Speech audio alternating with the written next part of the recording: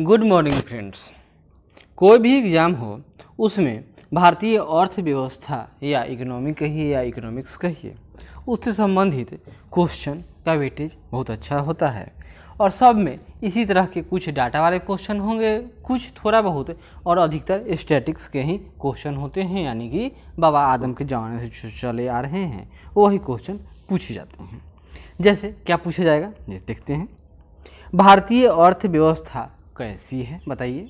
Question विकल्प रहेगा, समाजवादी है, पूंजीवादी है, या मिश्रित है, या इनमें से कोई नहीं। तो भारतीय अर्थव्यवस्था खिचड़ी है, यानी मिश्रित है, यानी कि थोड़ा थोड़ा इसका लक्षण पूंजीवादी है, तभी तो यहाँ पर प्राइवेट सेक्टर है, और सरकार भी अस्तित्व में है, इसलिए यह मिश्रित अर्थव्यवस्था है। मिश्रित अर्थव्यवस्था से क्या अभिप्राय है? इसका मतलब होता है, सरकार एवं निजी क्षेत्र दोनों का सह अस्तित्व यानी दोनों कॉम्पिटिट करेंगे। किसमें? बाज़ार में। आर्थिक विकास के दृष्टिकोण से भारत की गिनती कहाँ होती है? तो यह हम लोग कब क्या हैं? डेवलपिंग कंट्री हैं। गर्व से कहिए, India is a developing country. विकास कर रहा है भाई। भारतीय अर्थव्यवस्था का कौन सा क्षेत्र सफल है या सफल नहीं, सकल राष्ट्रीय उत्पाद में सबसे अधिक योगदान देता है। वही यहाँ के लोग क्या कहते हैं भाई? अच्छा काम और मोटा काम। तो ये क्या है? तो ये ऑफ़िस वर्क कहिए, उसको टर्सरी सेक्टर जैसे बैंकिंग सेक्टर बीमा सेक्टर कम्युनिकेशन सेक्टर ये जो ऑफ़िस में बैठकर काम किया जाए, वह टर्सरी सेक्टर है। सामान्य तौर पर इतना याद कीजिए। तो वही टर्सरी सेक्टर में जो सकल घरेलू जो उत्पाद है, कुल जीडीपी में सबसे अधिक इसका लगभग अभी वर्तमान में 60 प्लस परसेंट है। और सबसे कम, जिसमें सबसे ज़्यादा लोग लगे हुए हैं, ये यानी कृषि सेक्टर में। वर्तमान में तो अभी 14 परसेंट के ही आसपास सिकुड़ा हुआ है आकर बंद अर्थव्यवस्था यानी क्लोज्ड इकोनॉमी क्या है बताइए? मतलब यह न तो निर्यात करेगा, न आयात करेगा। ऐसा दुनिया में कोई ना है, लेकिन कहने वाले कहते हैं कि उत्तर कोरिया है। भारत की श्रम शक्ति का लगभग कितना परसेंट भाग कृषि में लगा हुआ है? तो चौवन परसेंट।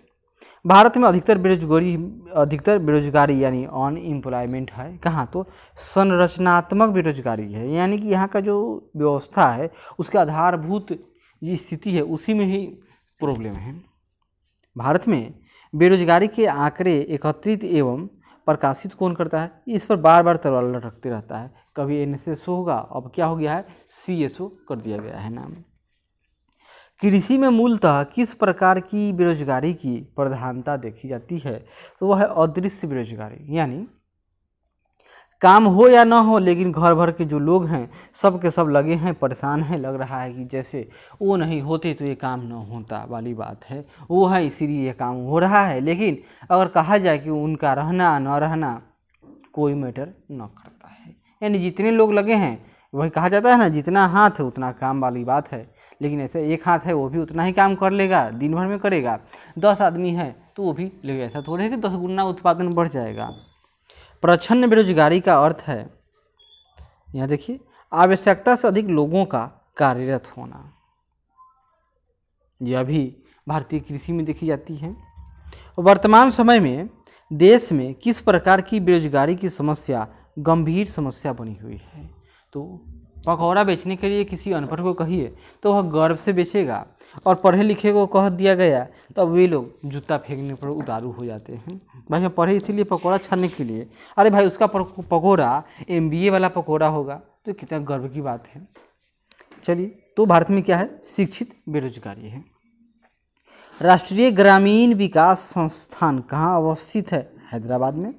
संरचनात्मक बेरोजगारी का कारण क्या है? तो अपर्याप्त उत्पादन क्षमता। मशीन ही खराब है तो उत्पादन कितना होगा? वैश्वीकरण यानी ग्लोबलाइजेशन का अर्थ क्या है? विश्व क्या है? एक गाँव है, विलेज कोट बस लेकिन क्या हुआ? गाँव में एक बीमार, सब बीमार। तो इसका निगेटिव कोरोना देखिए। यानी घरेलू अर्थव्यवस्था का, वैश्विक अर्थव्यवस्था के साथ एकीकरण, यानी कि सभी नदी जो पूरा दुनिया को मान लेते हैं, नदी, सभी नदी को जोड़ दिए आपस में। नीति आयोग गरीबी रेखा का निर्धारण, पोषण आवश्यकताओं के आधार पर निर्धारित करता है। इसके अनुसार ग्रामीण क्षेत्रों में 2400 कैलोरी प्रतिदिन से कम प्राप्त करने वाले को गरीबी रेखा के नीचे माने जाते हैं। नीच नगरीय क्षेत्रों के लिए यह कैलोरी कितना है?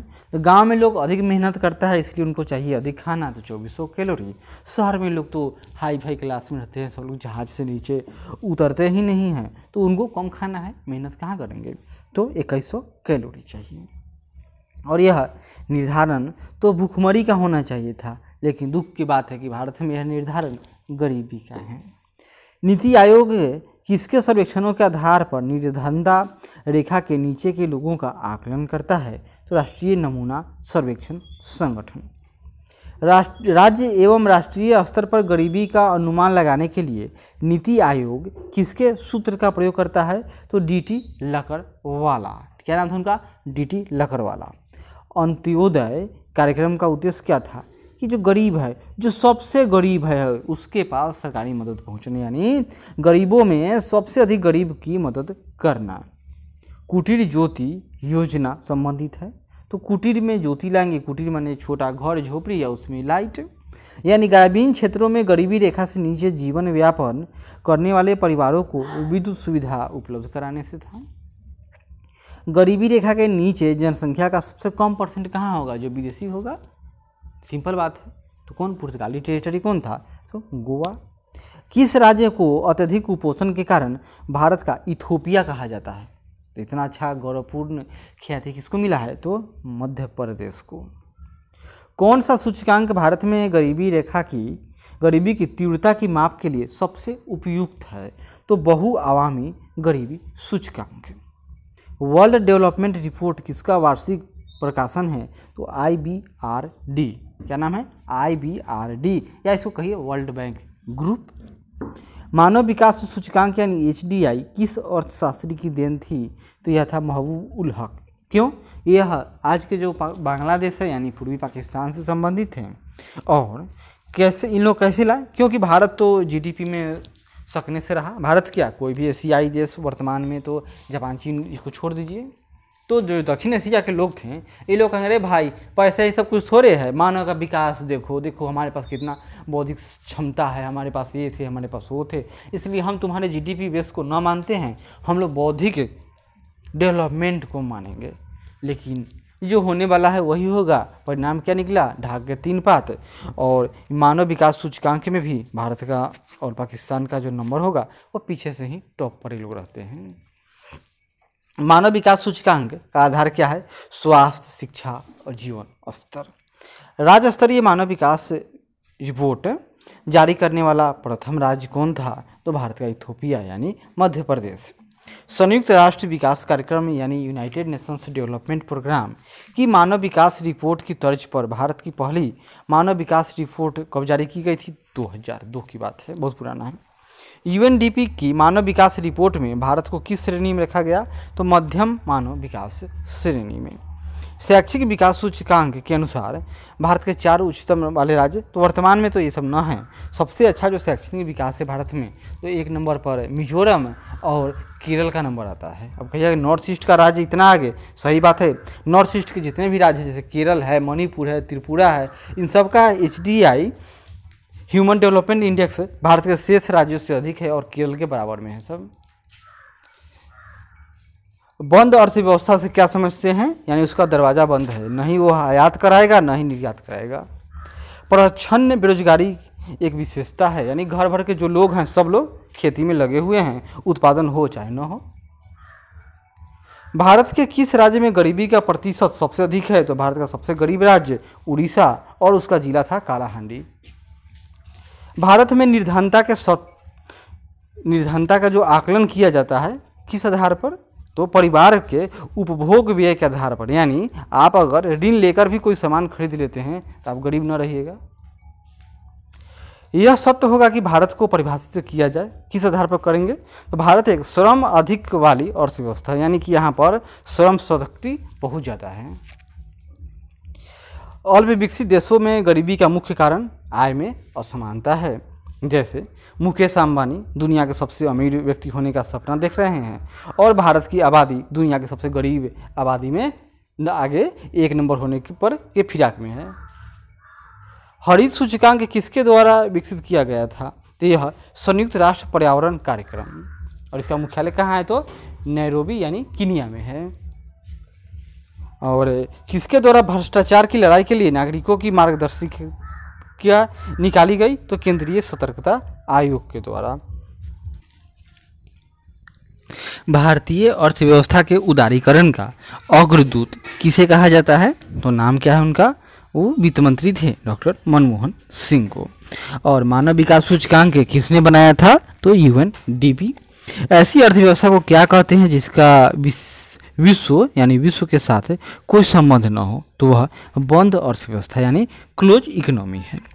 किसी अर्थव्यवस्था में, क्षेत्रों को सर- सार्वजनिक और निजी में किस आधार पर वर्गीकृत किया जाता है तो उद्यमों का स्वामित्व, यानी अगर वह सरकार का है, सब कुछ, यानी सब कुछ पूरी जन, आम जनता का मिलकर बनाया गया है तो वह सरकारी हो गया, यानी पब्लिक प्रॉपर्टी है। तो वह सरकारी है और किसी प्राइवेट एक स्पेशल व्यक्ति का है तो वह प्राइवेट प्रॉपर्टी है। आगे बढ़ते हैं। अब हम लोग कुछ भारत के राष्ट्रीय आय से संबंधित क्वेश्चन देखते हैं। जैसे, भारतीय आय में सर्वाधिक योगदान किसका है? तो भारत के आय में भी सर्वाधिक योगदान टर्सरी सेक्टर का है। यह भी निर्माण क्षेत्र तो दूसरा सेक्टर हो गया, माने कि सेकेंडरी सेक्टर भारत की राष्ट्रीय आय का मुख्य स्रोत सेवा क्षेत्र है। योजना काल में राष्ट्रीय आय में किस क्षेत्र को, का योगदान घटा है? तो कृषि का योगदान दिन प्रतिदिन परसेंट वाइज घटते जा रहा है? लेकिन अगर कुल कर कहेंगे तो वह बढ़ा है। वर्तमान में भारत की राष्ट्रीय आय में किस क्षेत्र का सर्वाधिक योगदान है? तो सेवा यानी टर्सरी सेक्टर जैसे जैसे अर्थव्यवस्था विकसित होती है तो तृतीय श्रेणी यानी टर्सरी सेक्टर का क्या होगा? तो योगदान बढ़ते चला जाएगा। यहाँ देखिए 1950 से इक्यावन में भारत के सकल घरेलू उत्पाद में प्राथमिक क्षेत्र, द्वितीय क्षेत्र और तृतीय क्षेत्र का योगदान कितना था उस समय? तो उस समय 17 परसेंट, इकतीस परसेंट और 50 परसेंट, यानी पहले प्राथमिक सेक्टर में का योगदान कितना था? जो क्रमशः उनतीस परसेंट था और दौरान प्रतिशत ठीक है। तो उस समय सकल घरेलू क्षेत्र में प्राथमिक सेक्टर का उत्पाद 1950 से इक्यावन में उन्नीस सौ तिरानवे चौरानवे के अनुसार, यानी उन्नीस सौ चौरानवे, तिरानवे में क्या था? तो यह इलाका था। लेकिन उन्नीस सौ पचास इक्यावन में तो प्राइमरी सेक्टर का योगदान देश के कुल जीडीपी में 50 परसेंट था। देश में राष्ट्रीय न्याय दर्श यानी एनएसएस की स्थापना कब हुई थी 1950 में? केंद्रीय सांख्यिकी संगठन यानी सीएसओ की स्थापना कब हुई उन्नीस सौ इक्यावन? और इसका है कहाँ? तो यह कलकत्ता में ऑफ़िस है इसका। राष्ट्रीय आय क्या है? तो उत्पादन लागत पर निवल राष्ट्रीय उत्पाद। वह राष्ट्रीय आय है। भारत की राष्ट्रीय आय अनुमानित होती है केंद्रीय सांख्यिकी संगठन द्वारा। किस राज्य की प्रति व्यक्ति आय सबसे अधिक है? तो वर्तमान में गोवा की है। भारत में चालू मूल्यों पर प्रति व्यक्ति न्यूनतम आय वाला राज्य तो बिहार। भारत में चालू मूल्यों पर प्रति व्यक्ति न्यूनतम आय वाला राज्य, यानी प्रति व्यक्ति सबसे कम पैसा कमाने वाला राज्य कौन है? तो वह बिहार है। उन्नीस अठारह सौ में भारत में प्रति व्यक्ति आय बीस रुपया थी। यह सर्वप्रथम किसने बताया था? तो इनका नाम था दादा भाई नौरोजी और उन्होंने किस सिद्धांत का प्रतिपादन किया? ड्रेन ऑफ़ सिद्धांत, यानी द थ्योरी ऑफ़ ड्रेन मतलब इसमें क्या था कि भारत से जो पैसा है यह रिस रहा है, इसका बहाव है और यहाँ का पैसा कहाँ चला जा रहा है? तो इंग्लैंड जा रहा है। तो यह किसने प्रतिपादित किया? तो दादा भाई नौरोजी ने। हिंदू वृद्धि दर किससे संबंधित है राष्ट्रीय आय से? उन्नीस सौ उनचास में गठित राष्ट्रीय आय समिति का अध्यक्ष कौन था? तो पीसी महाल नोबिस। स्वतंत्रता पूर्व भारत की राष्ट्रीय आय के संबंध में किसने अनुमान लगाए थे? तो दादा भाई नौरोजी पहले, उसके बाद फिर सिराज महोदय ने। स्वतंत्रता के पश्चात देश की राष्ट्रीय आय का अनुमान लगाने के लिए भारत ने राष्ट्रीय आय समिति की स्थापना कब की थी? तो 4 अगस्त उन्नीस सौ उनचास को। और वर्तमान में राष्ट्रीय आय समंकों के, की गणना किस आधार पर की जाती है? तो अभी बढ़ गया है। अब तो आ गया है दो हज़ार ग्यारह बारह। हम और चर्चा तो चल रहा है इसको पंद्रह सोलह कर दिया जाए। भारत में राष्ट्रीय आय की सही गणना में आने वाली एक कठिनाई है। अमौद्रिक क्षेत्र अस्तित्व, यानी कि जिसका कोई वैल्यू ही ना हो, चाहे जो असंग, असंगठित क्षेत्र है, यानी कोई जिसका डाटा ही उपलब्ध ना हो, आप उसका अंदाज कैसे लगाओगे? भारत में राष्ट्रीय आय की सही संगणना में कौन सी समस्या सामने नहीं आती है? पर्याप्त और सही सांख्यिकी विधियों की कमी ऐसा तो है कि यहाँ के लोग, यहाँ उसके लिए स्केल ना है, पैमाना नहीं यहाँ के लोग पढ़े लिखे नहीं हैं। ऐसा तो है नहीं। भारत में राष्ट्रीय आय का आकलन सबसे पहले किसने किया? दादा भाई नौरोजी ने। दादा भाई नौरोजी ने अपने धन का पलायन सिद्धांत का जो पुस्तक था, किस पुस्तक उस पुस्तक का नाम क्या है? तो उसका नाम था poverty and on British rule in India यानी भारत में जो ब्रिटिश रूल है, वैसा रूल भारत में नहीं है, वो ऑन ब्रिटिश रूल है। भारत की राष्ट्रीय आय में सर्वाधिक योगदान किसका है? तो टर्सरी सेक्टर भारत की राष्ट्रीय आय में सबसे कम राष्ट्रीय योगदान तो प्राथमिक क्षेत्र, और सबसे अधिक लोग लगे हुए हैं लगभग साठ परसेंट से अधिक तो इसी प्राथमिक क्षेत्र में। भारत की राष्ट्रीय आय गणना किसके द्वारा की जाती है? केंद्रीय सांख्यिकी संगठन के द्वारा। किसी देश की आर्थिक वृद्धि की सर्वाधिक उपयुक्त माप है सकल घरेलू उत्पाद यानी जीडीपी राष्ट्रीय आय का परिकलन किस एक को छोड़कर अन्य सभी तरीकों से किया जा सकता है तो सभी प्रकार की बचत का योग तो ऐसा कोई है ना? प्रति व्यक्ति आय निकालने के लिए राष्ट्रीय आय को भाग दिया जाता है किसे तो देश की कुल जनसंख्या से भाग दे दीजिए। प्रति व्यक्ति आय चलाएगा। भारत की राष्ट्रीय आय के बारे में कौन सा कथन सही है? संयुक्त रूप से कृषि और उद्योग की अपेक्षा सेवाओं का परसेंट अधिक है। यानी भारत में संयुक्त रूप से कृषि और उद्योग का जितना इनकम है उससे अधिक सेवा क्षेत्र से इनकम होता है। अमीरों के तुलना में गरीबी बचत, गरीब बचत करते हैं तो अपनी आय की अपेक्षा छोटे हिस्से को, क्योंकि गरीब का तो ज़्यादा पैसा खाने में ही खत्म हो जाता है। भारत के सकल घरेलू उत्पाद में नीचे दिए गए विभिन्न क्षेत्रों के योगदान में कौन सा क्रम मतलब घटते क्रम में है तो सबसे अधिक सेवा, फिर उद्योग और सबसे कम कृषि क्षेत्र। भारत में स्थिर मूल्यों पर सकल घरेलू उत्पाद के प्राकलन के लिए वर्तमान आधार वर्ष दो हज़ार ग्यारह बारह है। कौन सा क्षेत्र भारत के सकल घरेलू उत्पाद यानी जीडीपी का सर्वाधिक योगदान देता है? तो तृतीय सेक्टर या टर्सरी सेक्टर। मूल्य ह्रास किसके बराबर होता है? तो सकल राष्ट्रीय उत्पाद माइनस निवल राष्ट्रीय उत्पाद, यानी कि जीडीपी एक मिनट। जो जीडीपी इसको मतलब सकल राष्ट्रीय उत्पाद बराबर क्या होगा? इसके बराबर होता कहा जाता है इसको जीडीपी माइनस क्या करेंगे? नेट नेशनल प्रोडक्ट यानी एन एन पी तो क्या निकलेगा बीच में? बीच में हरास, यानी डिप्रेशन रगर घस मतलब कि जो सामान को उत्पादन करने में उसमें खर्च आया, जो उसका वैल्यू घट गया या खराब हो गया, वही मूल्य हरास है। राष्ट्रीय आय के मापन की विधि कौन सी नहीं है तो आप निवेश की विधि से राष्ट्रीय आय को नहीं माप सकते हो। कौन सी पद्धति, राष्ट्रीय आय आकलन की पद्धति नहीं है तो मैट्रिक्स पद्धति। राष्ट्रीय आय निकालने के लिए एनएनपी में से किसे घटाया जाता है तो अप्रत्यक्ष कर को घटा दिया जाता है और सब्सिडी को जोड़ दिया जाता है।